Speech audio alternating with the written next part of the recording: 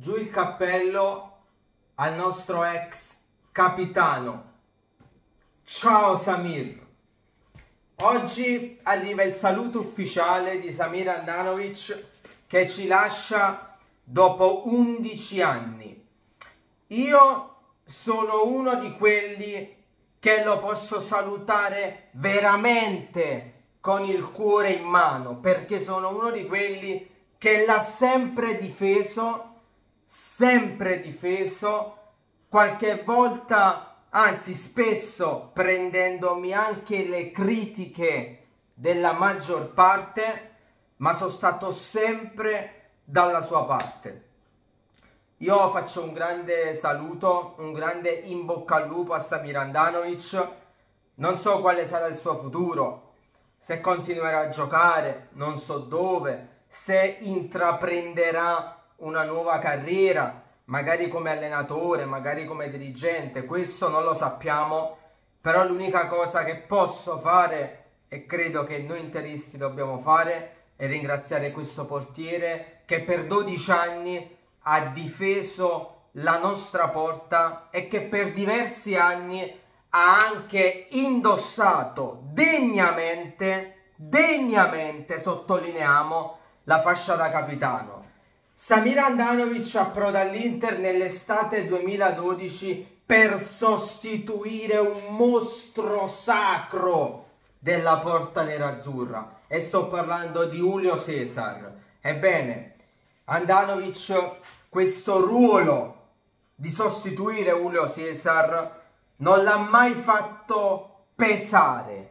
Con questo non voglio dire che Samir era a livello di Julio Cesar, perché secondo me Julio Cesar era ancora superiore, ma che Samir nei suoi anni d'oro sia stato uno dei migliori portieri al mondo, questo non glielo toglie nessuno. E il fatto che nei suoi anni migliori lui, lui sia rimasto all'Inter, in quell'Inter penosa, a me mi ha conquistato. Perché in quel momento, in quel periodo, Samir avrebbe potuto andare ovunque, al Barcellona, al Real Madrid, al Bayern di Monaco. Le offerte le aveve, le aveva. Non mancavano i club che lo volevano. Lui ha sempre deciso di restare all'Inter. Una volta approdato all'Inter, lui non se n'è andato mai più.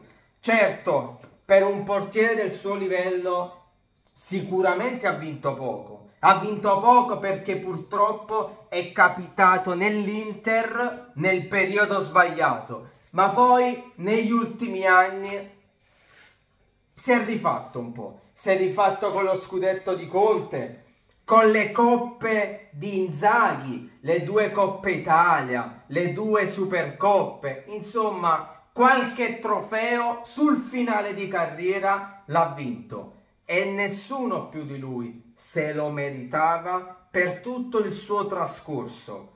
Quindi io posso veramente solo ringraziare questo portiere. Poi sapete, io ho, ho un debole particolare per i portieri, per chi ricopre il ruolo del portiere. E infatti spesso mi capita che mi ci affeziono al portiere dell'Inter.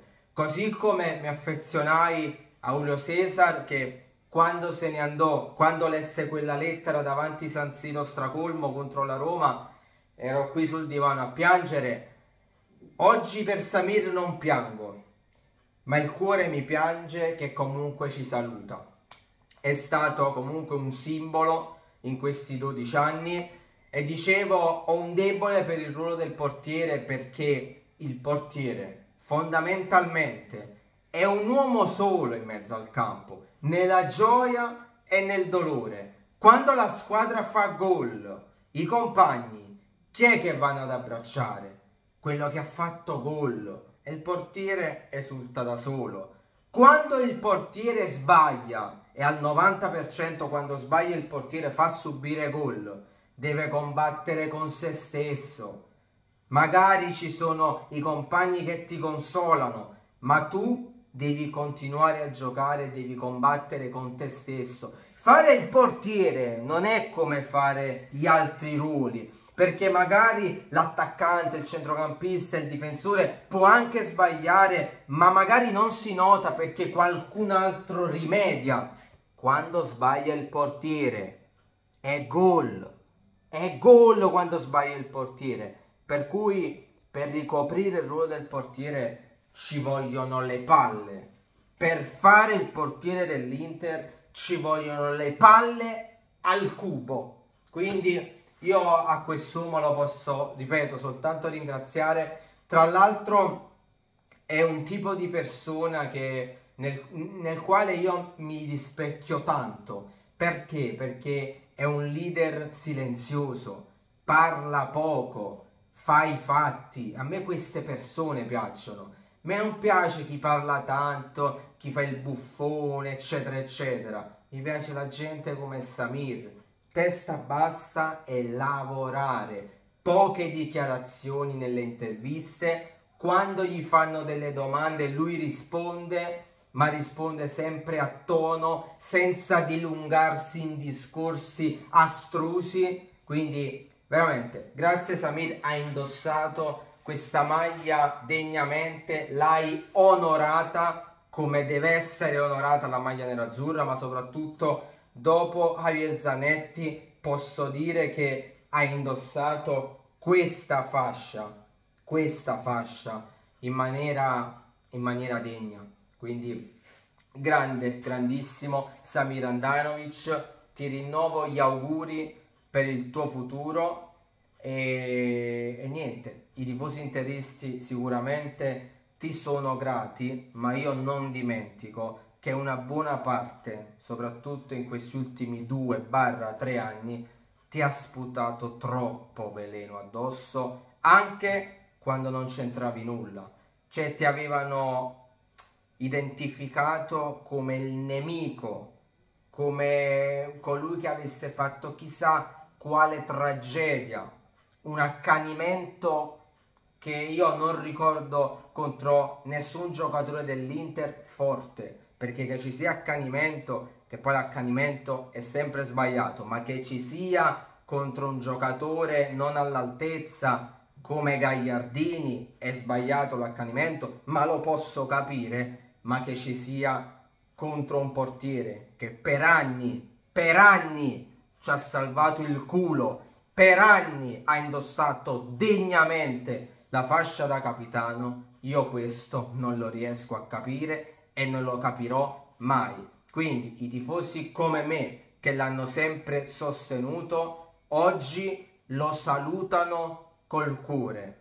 Gli altri che spesso l'hanno denigrato gradirei che non vi fosse ipocrisia. Salutatelo, ringraziatelo, ma non con il cuore in mano, perché non avete meritato questo saluto. Andanovic ha meritato la maglia dell'Inter, ma tanti tifosi non hanno meritato Andanovic. Ciao!